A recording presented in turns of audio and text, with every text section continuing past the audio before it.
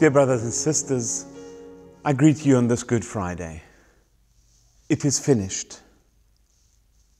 That was the last words of Jesus on the cross, according to the Gospel of John. It is also the last word of Jesus reflecting on his own death. After the resurrection, he doesn't discuss or reflect on his death any further. But for the believers, this is only the beginning of a long discussion, a long debate. What exactly is the meaning of Jesus' death?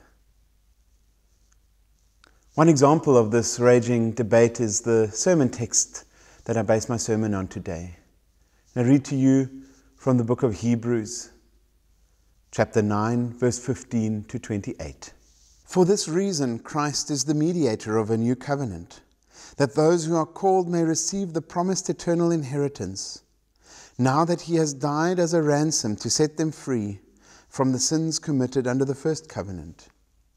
In the case of a will, it is necessary to prove the death of the one who made it, because a will is in force only when somebody has died. It never takes effect while the one who made it is living. This is why even the first covenant was not put into effect without blood. When Moses had proclaimed every commandment of the law to all the people, he took the blood of calves, together with water, scarlet wool, and branches of hyssop, and sprinkled the scroll and all the people. He said, This is the blood of the covenant, which God has commanded you to keep. In the same way, he sprinkled with the blood both the tabernacle and everything used in its ceremonies. In fact, the law requires that nearly everything be cleansed with blood, and without the shedding of blood, there is no forgiveness. It was necessary, then, for the copies of the heavenly things to be purified with these sacrifices, but the heavenly things themselves with better sacrifices than these. For Christ did not enter a man made sanctuary that was only a copy of the true one he entered heaven itself, now to appear for us in God's presence. Nor did he enter heaven to offer himself again and again, the way the high priest enters the most holy place every year with blood that is not his own. Then Christ would have had to suffer many times since the creation of the world. But now he has appeared once for all at the end of the ages to do away with sin by the sacrifice of himself.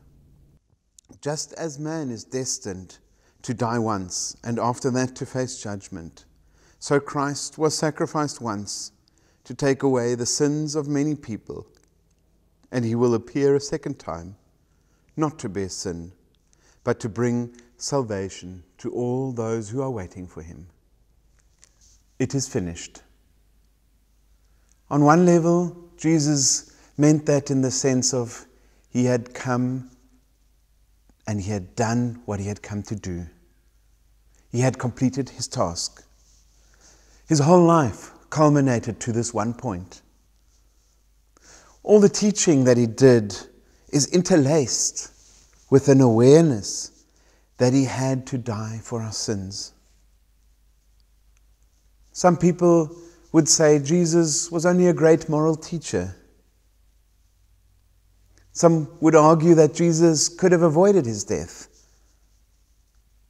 If he could have just toned down his criticism of the powerful religious rulers, they would have left him in peace. But he had to rock the boat.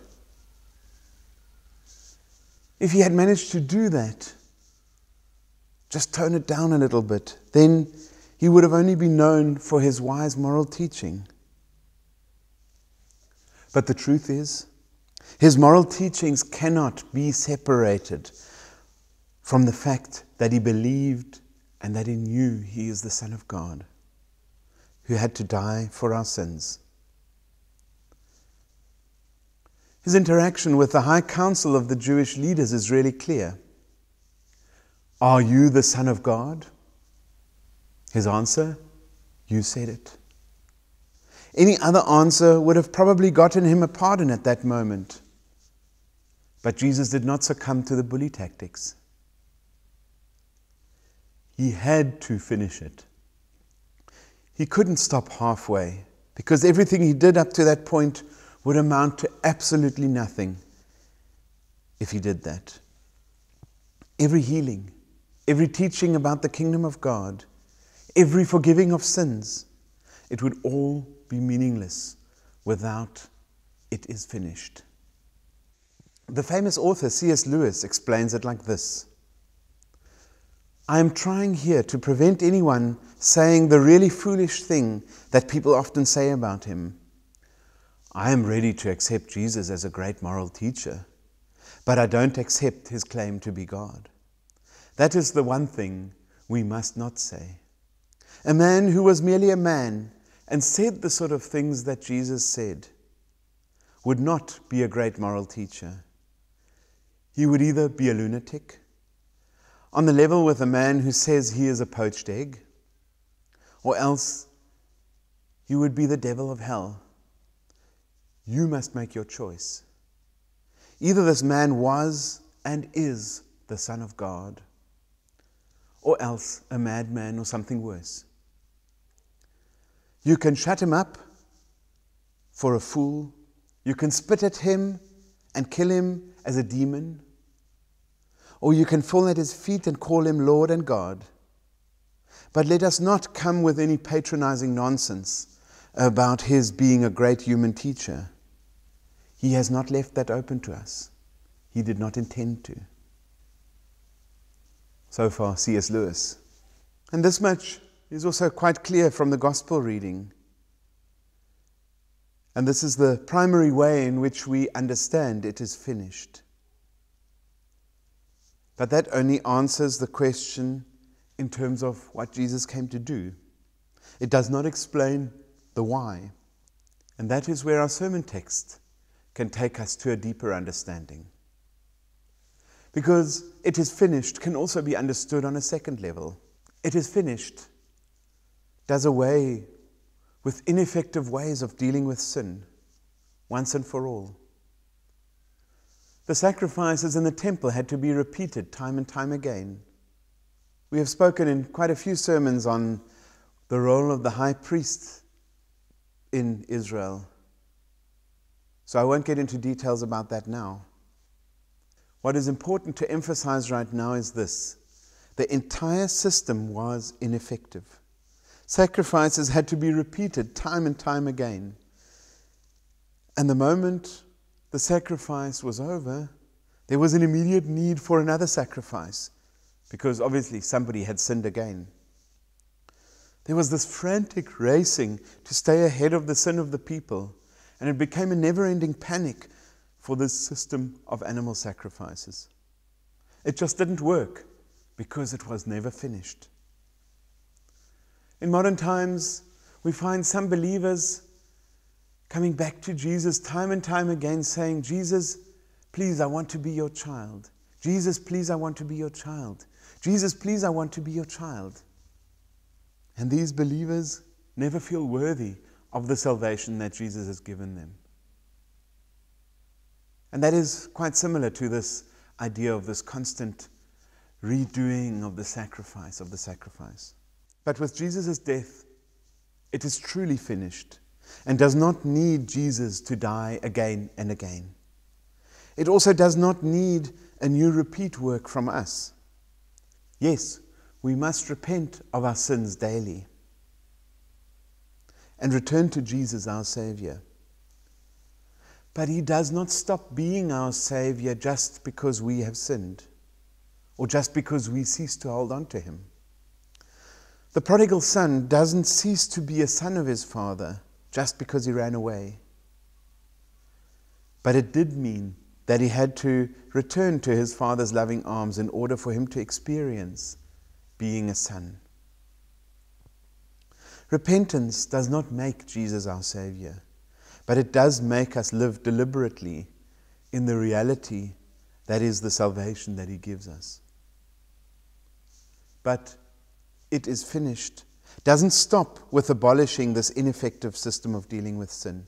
It actually sets up a new system entirely. It is finished. With these simple words, Jesus sets the new covenant in place. Why are these words so powerful? Because they are backed up by his actions, by his death, by his blood. The writer of Hebrews uses two pictures to describe the meaning of Jesus' death. Firstly, covenant.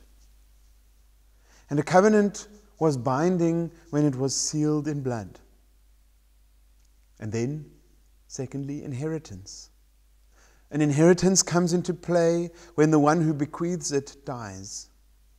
This is, in effect, the consequence of covenant. Interesting, both pictures fit quite nicely at first glance, but both are quite different to the usual way that these terms would be applied. A covenant is usually sealed with blood, but usually the blood of both parties.